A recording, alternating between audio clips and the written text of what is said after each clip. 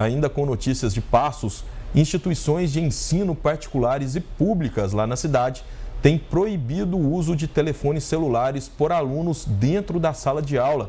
Nesta semana, o Colégio Imaculada Conceição criou um local específico onde deverão ser armazenados os aparelhos.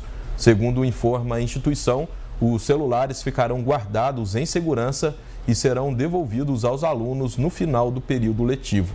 Professores e demais profissionais de educação apontam que o celular em sala de aula para fins pedagógicos é um grande aliado, pois desperta o interesse do aluno para o aprendizado. Porém, também reforçam que o smartphone é usado de maneira não proveitosa pelos alunos, pois tira o foco na aprendizagem.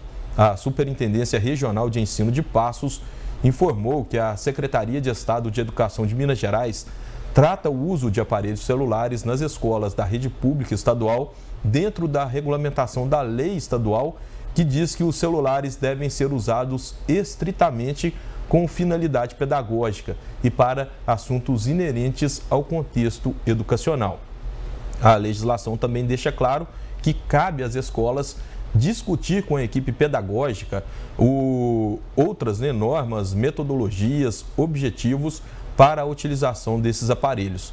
Já a Secretaria de Educação da cidade de Passos informou que proibiu o uso de celulares nas escolas municipais e que seu uso será permitido somente em situações com planejamento prévio e sob a supervisão e orientação dos professores.